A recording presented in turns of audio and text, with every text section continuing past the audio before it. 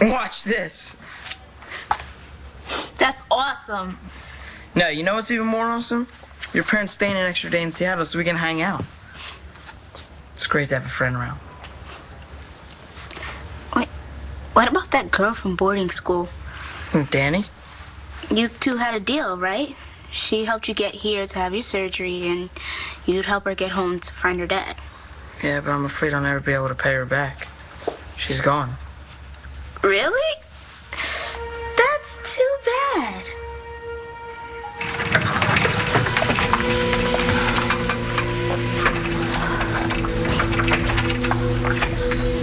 You know, That girl is Téa Delgado's daughter.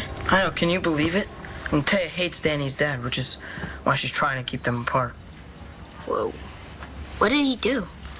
I don't know, Téa says he's got some monster temper, so Téa's taking her away to Puerto Rico. Did she give you an address or a phone number? Nope, nothing. I'm sorry. But, you know, she loves waves, so oh, she's catching some gnarly ones out there.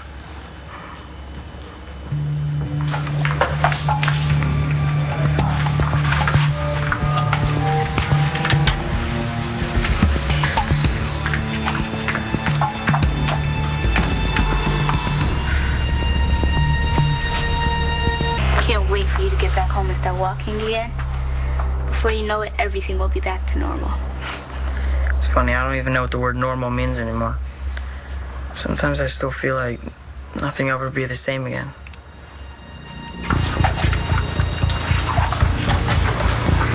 What do you mean? You're still the same Matthew, at least to me. Uh, thanks, but we're trying to have a conversation here. Dani? Matthew, you have to help me. So, you're here? Aren't you supposed to be in Puerto Rico? Yeah, but my father showed up before my mom could even take me away, and all hell broke loose. So I called the cops and told them that my mom and her creepy boyfriend were trying to kidnap me, which I totally thought they had in mind. Anyway, all three of them got arrested, and I had to spend the night in child services, which is so not a four star hotel. And they just let you out without an adult. No, I broke out. How? Well, I busted out of Warwick with you in a wheelchair. This was nothing. Fortunately, they're probably looking for me now. Matthew, I can't go back there. And I'm afraid my mom might take me away again. I need to stay here and think. Well, you can't. Excuse me? I mean, isn't this the first place they would look? Well, then you'll have to hide me.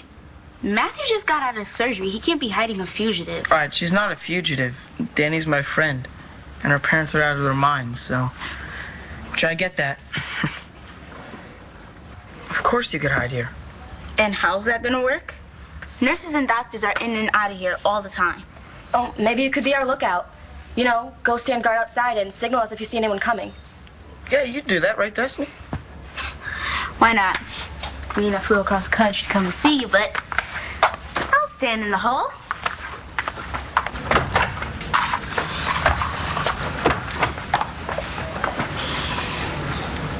Maybe she's mad. But I didn't know where else to go. Destiny's fine. Besides, I owe you. Does this mean Check this out. I mean, I can't surf yet, but you know, it's a start.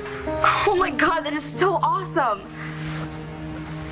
Are you sure you want to get caught up in all my stuff? If it wasn't for you, I'd still be in Warwick in a wheelchair. Matthew, I have no idea what's going to happen to me. Everything's a total mess.